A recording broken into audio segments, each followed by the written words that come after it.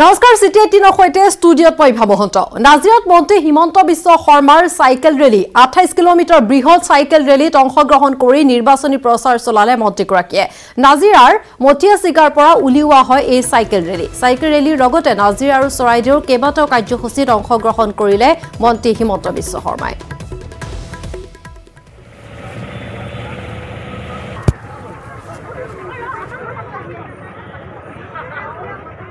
পৰা উলিওৱা হৈছে এই চাইকেল ৰেলী আৰু হিমন্ত বিশ্ব শৰ্মাই লগতে আৰু কেইবাটাও কাৰ্যসূচীত যিহেতু আজি অংশগ্ৰহণ কৰিছে আৰু এই সন্দৰ্ভত আমাক আৰু অধিক জনাব নাজিৰাৰ পৰা নবুল কোঁৱৰে।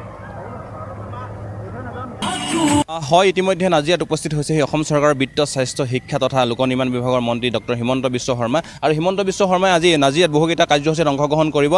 প্ৰথমে তেওঁ অংশগ্ৰহণ কৰিছে নাজিৰাৰ চাইকেল ৰেলী তাত চাইকেল ৰেলীত অংশ- অংশগ্ৰহণ কৰাৰ পাছতে তেওঁ নাজিয়া নাট্য মন্দিৰত অনুষ্ঠিত এ, আশ্ৰয়ৰ এক অনুষ্ঠানত অংশগ্ৰহণ কৰিব। দেখিছে আপোনালোকে এই ৰাজপথত এনে এনেদৰে মহিলাসকলে তেওঁক আদৰণি জনাবলৈ এইভাগে ৰৈ আছে। কি ক'ব বাইদেউ আজি ডক্টৰ হিমন্ত বিশ্ব শৰ্মা ডাঙৰীয়া এ, নাজিয়ালৈ আহিছে। হয় ভাল লাগিছে আমাৰ কাৰণে। তেওঁৰ চেষ্টাতে আমাৰ নাজিৰা আলিবিলাক যি ৰাস্তা পদূলি কাম তেখেতে কৰিম বুলি কথা দিছিল সেইমতে সেই কাম হৈছে আৰু তেওঁ চাবৰ কাৰণে আহিছে।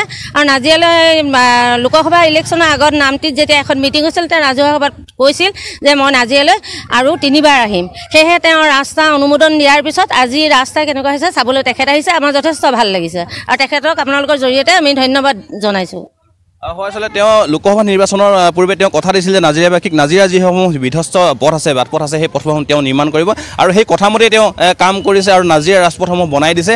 সুন্দৰকৈ বনাই দিয়াৰ পাছত আজি তেওঁ চাইকেলেৰে সেই পথসমূহত এ, তেওঁ যাত্ৰা আৰম্ভ কৰিব। আৰু ইতিমধ্যে যাত্ৰা কৰিছে মঠিয়া চিগাৰ পৰা মাদুৰী হৈ এইদৰে তেওঁ নাজিৰা নগৰলৈ আহিছে। আৰু নাজিৰা নগৰ হৈ তেওঁ এই- এই যিটো পথ দেখাইছে এই পথটোৱে তেওঁ এই মই কেমেৰাখন দেখাবলৈ অনুৰোধ কৰিছোঁ। দেখিছে আপোনালোকে এই পথটো আচলতে কিছুদিনৰ আগতে খুব জৰাজীৰ্ণ আছিল আৰু এই পথটো এতিয়া সুন্দৰকৈ নিৰ্মাণ হৈছে আৰু এই পথেৰে তেওঁ চাইকেল চলাই এই পথেৰে আহিব। ৰাজপথত আচলতে বহু ঠাইত তেওঁক আদৰণি জনাইছে। নাজিৰা নাজিৰাবাসী ৰাইজে তেওঁক আদৰণি জনাইছে আৰু কি ক'ব আজি নাজিৰালৈ মন্ত্ৰী মহোদয় আহিছে কি ক'ব অহাৰ কাৰণে ভাল পাইছোঁ ৰাস্তা পদূলিবোৰ ভাল হৈছে। অঁ। হয় আচলতে এইদৰে তেওঁ আচলতে যি কথা কৈছিল আৰু সেই কথামতে তেওঁ কাম কৰিলে আৰু কিছু সময়ৰ পাছত এই পথেৰে ডক্টৰ হিমন্ত বিশ্ব শৰ্মা ডাঙৰীয়া এই পথেৰে চাইকেল চলাই তেওঁ যাব আৰু সেই পথত তেওঁক আদৰণি জনাবলৈ মহিলাসকল আৰু স্থানীয় লোকসকল এইদৰে ৰৈ আছে। ইতিমধ্যে নাজিৰা নগৰৰ ৰাজপথত যি চাইকেল ৰেলী বৃহৎ চাইকেল ৰেলী প্ৰৱেশ কৰিছে। দেখিছে আপোনালোকে এক বৃহৎ চাইকেল ৰেলী প্ৰায় ডেৰ কিলোমিটাৰ জোৰা এটা চাইকেল ৰেলী আৰু এই চাইকেল ৰেলীত অংশগ্ৰহণ কৰিছে অসম চৰকাৰৰ বিত্ত স্বাস্থ্য তথা লোক নিৰ্মাণ বিভাগৰ মন্ত্ৰী ডক্টৰ হিমন্ত বিশ্ব শৰ্মাই আৰু তাৰ তেওঁৰ লগত সহযোগ কৰিছে অসম চৰকাৰৰ লোক নিৰ্মাণ বিভাগৰ মন্ত্ৰী যোগেন মোহন ৰাজ্যসভা সাংসদ কামাখ্যা প্ৰসাদ তাছা যোৰহাট লোকসভা সমষ্টিৰ সাংসদ তপন কুমাৰ গগৈকে আদি কৰি বহু বিজেপি কৰ্মীয়ে তিনিচুকীয়াৰ জাগুন উদয়পুৰ কথাগাঁৱত এক নৃশংস হত্যাকাণ্ড। চাৰিজন লোকৰ নিৰ্মম প্ৰহাৰত প্ৰাণ গৈছিল পাত্ৰছ মুৰা নামৰ লোকজনৰ। কিন্তু কিহৰ বাবে সংঘটিত হৈছিল এই নৃশংস হত্যাকাণ্ড? চিনেমাৰ হিংসাত্মক দৃশ্যৰ দৰেই এক জঘন্য হত্যাকাণ্ড। প্ৰথমে এজন ব্যক্তিৰ ঘৰত প্ৰৱেশ চাৰিটা দুৰ্বৃত্তৰ। ঘৰটোত সোমাই ব্যক্তিজনৰ পত্নীক নাচিবলৈ আদেশ। পত্নীক নচাত বাধা দিয়াৰ বাবে মহিলাগৰাকীৰ স্বামীক নৃশংসভাৱে হত্যা।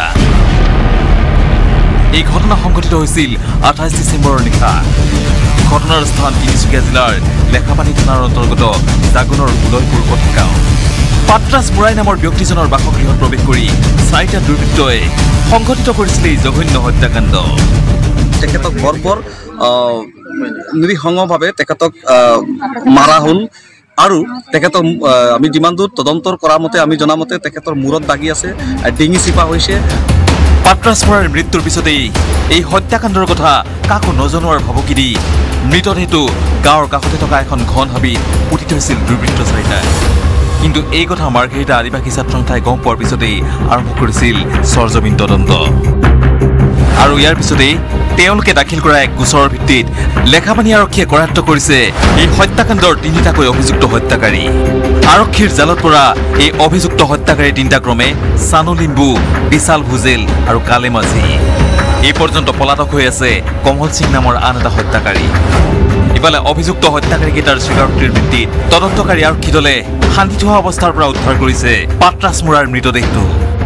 নাম আমি জনামতে কালে বিশাল আৰু চনু তেনেকৈ চাৰিজনৰ ব্যক্তিৰ নাম প্ৰশাসনৰ হাতত আছে। আমি যিমান দূৰ গম পাইছোঁ চৰজামিন তদন্তৰ কৰাৰ পাছত দুই তাৰিখে আমি চৰজামিন তদন্তৰ কৰিছোঁ। শুনামতে আমি এক তাৰিখে আমি গধূলি এই বিষয়লৈ আমি গম পালোঁ। ডিগবৈৰ পৰা Rina Kakati Gogoi news eighteen Assam north east.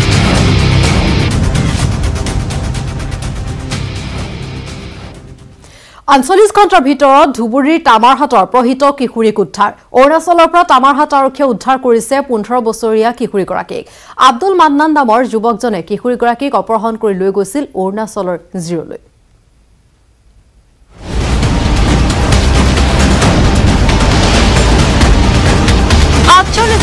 ভিতৰত ধুবুৰীৰ তামাৰহাটৰ অপহৃত কিশোৰীক উদ্ধাৰ। অৰুণাচলৰ পৰা তামাৰহাট আৰক্ষীয়ে উদ্ধাৰ কৰে পোন্ধৰ বছৰীয়া কিশোৰীগৰাকীক এক জানুৱাৰীৰ দিনাই হৰিপুৰ গাঁৱৰ আব্দুল মান্নান নামৰ যুৱকজনে দশম শ্ৰেণীৰ ছাত্ৰীগৰাকীক অপহৰণ কৰি লৈ গৈছিল অৰুণাচলৰ জিৰ'লৈ। অপহৃত কিশোৰীগৰাকীক উদ্ধাৰ কৰাৰ লগতে তামাৰহাট আৰক্ষীয়ে আটক কৰে অভিযুক্ত যুৱকজনক। লগতে অপহৰণ কাণ্ডত আব্দুল মান্নানক সহযোগ কৰা আন চাৰিজনকো আটক কৰে আৰক্ষীয়ে। ইতিমধ্যে আমি গম পাইছো যে ছোৱালীজনীক হাণ্ড্ৰেড পাৰ্চেণ্ট ৰাস্তাৰ বাটৰ পৰা কিডনাপ কৰি লৈছে। সেইকাৰণে আমি যোৱা পৰহি দিনা আমি থানাত এজাহাৰ দিয়াৰ লগে লগে ধুবুৰী আৰক্ষী অধীক্ষক মহোদয় সন্মানীয় আনন্দ মিশ্ৰা ছাৰ আৰু লগতে তামাৰ থানাৰ আৰক্ষী বিষয়াৰ লগতে বিভিন্ন কৰ্মকৰ্তাই আমাৰ দল সংগঠনৰ কথা শুনি পেলাই তেখেতে আঠচল্লিছ ঘণ্টাৰ ভিতৰত আমাৰ যে ছোৱালীজনক মোকলাই দিছে সেইকাৰণে আমি আৰক্ষী অধীক্ষকৰ লগতে সমূহ প্ৰশাসনিক বিষয়াক প্ৰথমতে ধন্যবাদ দিছোঁ। ইপিনে অপহৃত আৰু অপহৰণকাৰীক তামাৰহাট থানালৈ অনাৰ পিছতে সৃষ্টি হয় উত্তপ্ত পৰিস্থিতি। অপহৰণকাৰী যুৱকজনক কঠোৰ শাস্তি প্ৰদানৰ দাবীত প্ৰতিবাদ সাব্যস্ত কৰে বিভিন্ন দল সংগঠনে। ঘটনাৰ তদন্ত ফাষ্ট ট্ৰেক আদালতত কৰি অভিযুক্তক ফাঁচি দিয়াৰ দাবীৰে বিভিন্ন দল সংগঠনে সাব্যস্ত কৰে উত্তাল প্ৰতিবাদ। কেইবাটাও দল সংগঠনে সাব্যস্ত কৰা প্ৰতিবাদৰ ফলত ধুবুৰী কচুগাঁও গড়কাপ্তানি পথত কিছু সময়ৰ বাবে স্তব্ধ হৈ পৰে যাতায়াত ব্যৱস্থা। আৰু এটা কথা যে গতিকে আমি দাবী জনাইছো যে যিজন দোষী যে দুজন ল'ৰাৰ নাম আমি শুনা পাই আছো এই দুজন ল'ৰাৰ ফাষ্ট ট্ৰেক আদালতত বিচাৰ হৈ অতি সোনকালে ফাঁচি হ'ব লাগে। এনেকুৱা যাতে বাৰে বাৰে ঘটনা নঘটে আমাৰ অঞ্চলত। ইতিমধ্যে আৰক্ষীয়ে অপহৃত আৰু অপহৰণকাৰীৰ লগতে অপহৰণকাৰীক সহযোগ কৰা চাৰিজনক ধুবুৰী আদালতত হাজিৰ কৰে। উল্লেখ্য যে কিছুদিনৰ পৰা এটা দুষ্ট চক্ৰই তামাৰহাট অঞ্চলত বিভিন্ন অসামাজিক কাম চলাই অহাৰ অভিযোগ উত্থাপিত হৈ আহিছে। তামাৰহাটৰ পৰা Shahidul Haque news eighteen Assam north east. Byju's young জিনিয়াছত আপোনালোকে দেখা পাব সেইসকল কিশোৰক যিসকল বয়সত কুমলীয়া কিন্তু প্ৰতিভাৰ ক্ষেত্ৰত পৰিণত। বয়স কম হ'লেও এওঁলোক কামত ডাঙৰ। কোনোবা নগৰ চহৰ মহানগৰ অথবা কোনোবা গাঁৱৰ এই কিশোৰসকলে নিজৰ বুদ্ধিৰে আৰু প্ৰতিভাৰে সমগ্ৰ পৃথিৱীখনকে আচৰিত কৰি তুলিব পাৰে।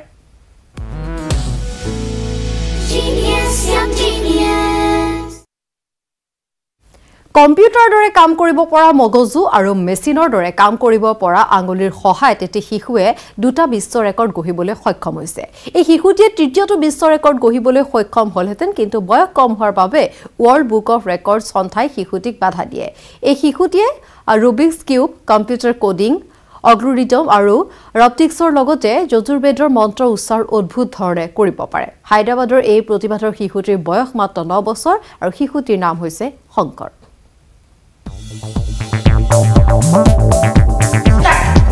नौ साल के शंकर की उंगलियाँ मशीन की तरह चल रही हैं। 30 सेकंड में 3D puzzle solve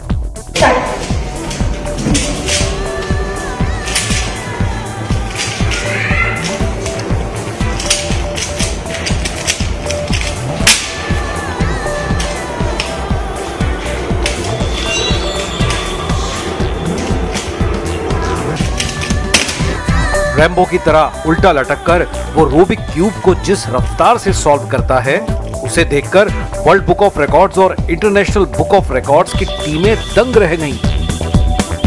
I just watched YouTube and I learned. This pyramid's world record is 0.91 seconds. उल्टा लटक कर ही नहीं रोलर स्केट्स पर चलते हुए भी शंकर रूबिक क्यूब को कुछ ही पलों में सॉल्व कर देता है It all started like when he was uh, uh, age of three. uh, he has shown a lot of interest towards uh, uh, you know uh, building uh, blocks and all that. Got a lot of interest towards electronics and all that. So probably, and he's also learning some coding from uh, one online this thing. Shankar पानी के भीतर भी Rubik cube solve कर नया record बनाना चाहता था लेकिन world book of records ने उसे 16 साल की उम्र होने तक इंतज़ार करने को कहा This robot, is a robot, right? Yes, this is a robot. How does it work? How does it work? It works through codes. I want to just modify this one to vacuum cleaner. How much time will it take to I mean, modify it? Five days. Really? Five days, six days. जिस उम्र में बच्चे cartoon देखते हैं, नौ साल का Shankar science और इंजीनियरिंग के वीडियोस देखता है। यजुर्वेद के रुद्रम का पाठ करता है और पिता से वायलिन बजाना सीखता है।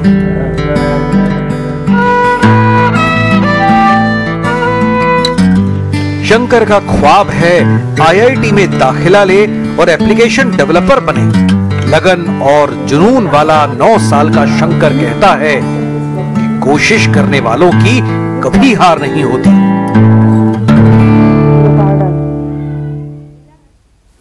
এই কিশোৰগৰাকী সঁচাকৈ বিস্ময়কৰ। কোনে জানে এনে আৰু কিমান প্ৰতিভা সম্পন্ন আ, বালক আমাৰ আশে পাশে আছে। ষোল্ল জানুৱাৰীৰ পৰা নিউজ এইটিনত দেখা পাব এনেকুৱা কিছু বিস্ময় কিশোৰ কিশোৰী যি আপোনাক আচৰিত কৰি তুলিব পৰা উদ্যম প্ৰতিভা আৰু সাহসৰ কাহিনীৰ লগতে বিখ্যাত চেলিব্ৰিটিৰ সৈতে তেওঁলোকৰ যুগলবন্দী। চাবলৈ নাপাহৰিব বাইজুছ য়ং জিনিয়াছ উঠিছো বিৰতিৰ পাছত গুৱাহাটীৰ ৰেষ্টুৰেণ্টত গুণ্ডাগিৰি কৰি ৰেষ্টুৰেণ্টৰ কৰ্মচাৰী গুৰুলা গুৰুকৈ প্ৰহাৰ কৰিছিল এন এছ অ'ই পাঁচ সদস্যই। আমি সম্প্ৰচাৰ কৰিছিলো এন এছ অ'ই পাঁচ সদস্যৰ গুণ্ডাগিৰিৰ এই বাতৰি। বাতৰি পৰিৱেশনৰ পিছতে গুৱাহাটী এৰি আত্মগোপন কৰিছে পাঁচ অভিযুক্তই। গুৱাহাটী এৰি পলায়ন ছাত্ৰ সংগঠনৰ পাঁচ সদস্যৰ। ৰেষ্টুৰেণ্টত উদ্ভণ্ডালি কৰি পুনৰ সংবাদ শীৰ্ষত ছাত্ৰ সংগঠনৰ সদস্য। ক'ত আত্মগোপন? ৰেষ্টুৰেণ্টত উদ্ভণ্ডালি কৰা উদণ্ড ছাত্ৰ নেতাৰ গেং। বিচৰা খাদ্য সময়ত নোপোৱাৰ বাবেই ৰেষ্টুৰেণ্টৰ ৰান্ধনীশালত প্ৰৱেশ কৰি এন এছ ইউ এৰ পাঁচ সদস্যই গুৰুলা গুৰুলকৈ প্ৰহাৰ কৰিছিল ৰেষ্টুৰেণ্টৰ কৰ্মচাৰীক অকল প্ৰহাৰ কৰাই নহয় গ্ৰেনেড দি ৰেষ্টুৰেণ্ট উৰুৱাই দিয়াৰ হুংকাৰ প্ৰদান কৰিছিল ছাত্ৰ সংগঠনটোৰ সদস্যকেইজনে। এই সমগ্ৰ ঘটনা একাংশ সংবাদ মাধ্যমত বাতৰি সম্প্ৰচাৰৰ পিছতে এতিয়া গুৱাহাটী এৰি আত্মগোপন পাঁচ অভিযুক্ত ছাত্ৰ নেতাৰ। ভিন্ন প্ৰান্তত আৰক্ষীয়ে অভিযান চলায়ো বিমুখ হৈ ঘূৰি আহিবলগীয়া হৈছে। ইতিমধ্যে কেছ ৰেজিষ্টাৰ কৰিছোঁ আৰু কেছ ৰেজিষ্টাৰ কৰি তদন্ত চলি আছে আৰু যিসকল লোক দোষী তেওঁলোকক গ্ৰেপ্তাৰ কৰিবলৈ আমাৰ টীম লাগি আছে। বৰ্তমান তেওঁলোক পলা পলাতক অৱস্থাত আছে কিন্তু আমি অনতি পলমে তেওঁলোকক গ্ৰেপ্তাৰ কৰি আইনগতভাৱে ব্যৱস্থা ল'ম তেওঁলোকৰ ওপৰত কিছুদিন পূৰ্বে নিশা ৰাজপথত জুবিন গাৰ্গৰ লগত অভদ্ৰামী কৰা এন এছ ইউৰ সদস্য হীৰক ৰাজবংশী আৰু গীতাৰ্থ এইবাৰ জড়িত হৈ পৰিল এই পাঁচজনীয়া গেঙত। অত্যধিক সুৰাৰ নিচাত ৰেষ্টুৰেণ্টৰ কৰ্মচাৰীৰ ওপৰত বৰ মতা দেখুৱালে এই পাঁচজনীয়া গেঙে। আৰক্ষী আয়ুক্তৰ স্পষ্ট কথা কোনো কাৰণতে সাৰি যাব দিয়া নহ'ব। ঘটনাৰে জড়িত আটাইকেইজন অভিযুক্তক। আইন আছে আইনমতে আমি আগতেও যেতিয়া তেওঁলোকে কিবা ক্ৰাইম কৰিছে তেতিয়া আমি একশ্যন লৈছোঁ এতিয়াও আমি একশ্যন ল'ম হয় যিকেইজনৰ তদন্তত নাম আহিছে তেওঁলোকক আমি এৰেষ্ট কৰিবলৈ চেষ্টা কৰি আছোঁ ভাস্কৰজ্যোতি হাজৰিকাৰ report news eighteen Assam north east নতুন বছৰৰ প্ৰথম দিনকেইটা যথেষ্ট গ্ৰন্থপ্ৰেমী লোকে ভিৰ কৰিছে গ্ৰন্থমেলাৰ বাকৰিত এইবাৰ গ্ৰন্থমেলাত পৰিলক্ষিত হৈছে কেইবাখনো ব্যতিক্ৰমী বিপণী যি বিপণীয়ে দৃষ্টি কাঢ়িছে বহু লোকৰ।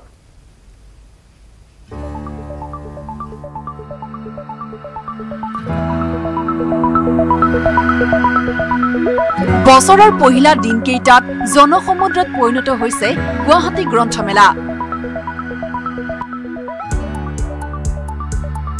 তেত্ৰিশ সংখ্যক গুৱাহাটী গ্ৰন্থমেলাৰ আজি ষষ্ঠটো দিন গুৱাহাটীৰ চানমাৰীৰ অভিযান্ত্ৰিক প্ৰতিষ্ঠান খেলপথাৰত চলি থকা তেত্ৰিছ সংখ্যক গুৱাহাটী গ্ৰন্থমেলাৰ কেইবাখনো ব্যতিক্ৰমী বিপণীয়ে দৃষ্টি কাঢ়িছে বহুজনৰ।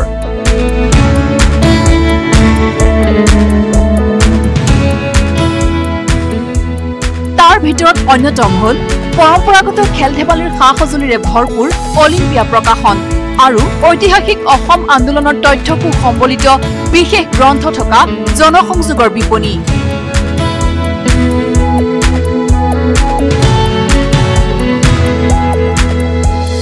এইখন অলিম্পিয়া প্ৰকাশনৰ বিপণী।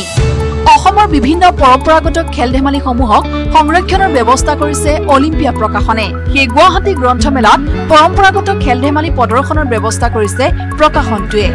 বিশেষকৈ অলং দলং অলৌগুটি তলৌগুটি তামোলৰ ঢকুৱাত উঠি খেলা চাইকেলৰ ৰিং টায়াৰলৈ দৌৰা পানী পাৰ এঠিঙীয়া দৌৰ মাৰ্বল ঘিলা খেলা আদি খেলসমূহ একেবাৰে বিলুপ্তি প্ৰায়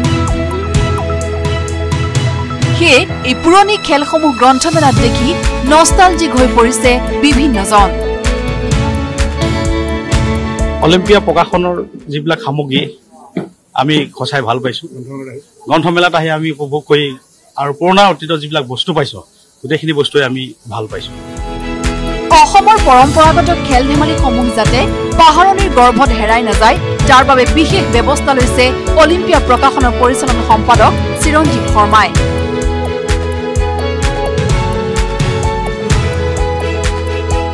মই বেলেগ কথা চিন্তা কৰা নাই লাভ মানে কিবা মানে বেলেগ কথা মই চিন্তা কৰা নাই এইটো মোৰ পেচন মোৰ খুব ইচ্ছা এটা আছিলে যে আমি মই খেল ধেমালিবিলাক সংগ্ৰহ কৰোঁ। সেইকাৰণে মই দুহেজাৰ চৈধ্যৰ পৰাই কাম কৰি আহিছোঁ। এতিয়ালৈকে আমাৰ পাঁচশ অধিক খেল ধেমালি সংগ্ৰহ হৈ গৈছে। চাৰিখনকৈ কিতাপ আমি উলিয়াইছোঁ এতিয়ালৈকে। তো বিভিন্ন জাতি জনগোষ্ঠীৰ যিখিনি পৰম্পৰাগত খেল ধেমালি আছে আমি সেইখিনি সংগ্ৰহ কৰি এই আপোনাৰ গ্ৰন্থসমূহ প্ৰকাশ কৰিছোঁ। দেওবাৰে অলিম্পিয়া প্ৰকাশনে নিজৰ গ্ৰন্থমেলাৰ বিপণীতে আই পি এল কুইজ প্ৰতিযোগিতাৰ পুৰস্কাৰসমূহ বিতৰণ কৰে। দহ হাজাৰ টকা সম্বলিত প্ৰতিযোগিতাখনত পুৰস্কাৰ লাভ কৰিছে নিউজ এইটিনৰ জ্যেষ্ঠ সাংবাদিক বিপুল বৰ্মনে। বঁটাসমূহ বিতৰণ কৰে অলিম্পিয়াৰ মুখ্য সম্পাদক ৰাজীৱ প্ৰকাশ বৰুৱা আৰু জ্যেষ্ঠ সাংবাদিক প্ৰণয় বৰদলৈয়ে। বিশেষকৈ পৰামৰ্শ খেলৰ কাৰণে আমাৰ যিখিনি ট্ৰেডিশ্যনেল স্পৰ্ট এইখিনি নোহোৱা হৈ আছে। মই জনাত চিৰঞ্জীৱে মাহেকৰ দুই তিনিবাৰ একদম ভিতৰ অঞ্চলবিলাকত যায়। কাৰ্বি আংলঙৰ পৰা চবতে যায়। আৰু যথেষ্ট কষ্ট কৰিছে মই ব্যক্তিগতভাৱে জানো। একক প্ৰচেষ্টাত যিখিনি কৰিছে সঁচাকৈ প্ৰশংসা পাত্ৰ। মই তেখেতৰ এই ক্ষেত্ৰত আৰু উন্নতি কামনা কৰিছোঁ। অলিম্পিয়া প্ৰকাশনে আজি কিছুদিন ধৰি এটা কাম কৰি আছে অসমৰ পৰম্পৰাগত যিবিলাক খেলৰ খেল আছে খেলবিলাকক বিলুপ্তপ্ৰায় খেলবিলাক তেওঁলোকে পুনৰুদ্ধাৰ কৰিছে। এইবিলাক মানুহৰ পৰিচয় কৰাই দিয়াৰ কাৰণে গ্ৰন্থ প্ৰকাশ কৰিছে। কেইবাখনো আপুৰুগীয়া গ্ৰন্থ প্ৰকাশ কৰিছে। পৰম্পৰাগত অসমৰ লুপ্তপ্ৰায় ক্ৰীড়া সন্দৰ্ভত। আৰু আজি ইয়াত এখন অলিম্পিয়া প্ৰকাশনৰ উদ্যোগত খুব সুন্দৰভাৱে আমাৰ খেল আমাৰ গৌৰৱ। চিৰঞ্জিত শৰ্মাৰ উদ্যোগত হৈছে খুব প্ৰশংসনীয় পদক্ষেপ। নতুন বছৰৰ প্ৰথম সপ্তাহতে ভাল খবৰ এইটোৱে যে অসমৰ পৰম্পৰাগত খেল ধেমালিসমূহ শীঘ্ৰেই উত্তৰ পূৰ্বাঞ্চলৰ খেল ধেমালিৰ সংগ্ৰহালয়ত সংৰক্ষণ হ'ব।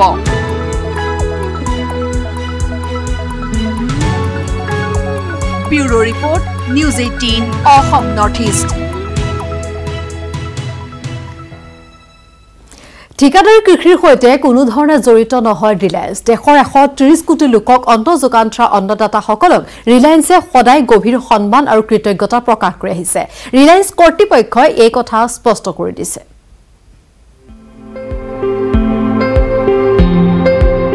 ঠিকাদাৰী কৃষিৰ সৈতে কোনো ধৰণে জড়িত নহয় ৰিলায়েন্স ঠিকাদাৰী কৃষিৰ বাবে প্ৰত্যক্ষ অথবা পৰোক্ষভাৱে ক'তো কোনো মাটিও ক্ৰয় কৰা নাই ৰিলায়েন্সে পাঞ্জাৱ অথবা হাৰিয়ানা নহয়। দেশৰ কোনো ঠাইতে এনে উদ্দেশ্যৰে মাটি ক্ৰয় কৰা নাই। ঠিকাদাৰী কৃষি অথবা কৰ্পৰেট কৃষিৰ সৈতে জড়িত হোৱাৰ ভৱিষ্যতেও কোনো পৰিকল্পনা নাই। ৰিলায়েন্সে পোনপটীয়াকৈ কৃষকৰ পৰা খাদ্য শস্য ক্ৰয় নকৰে।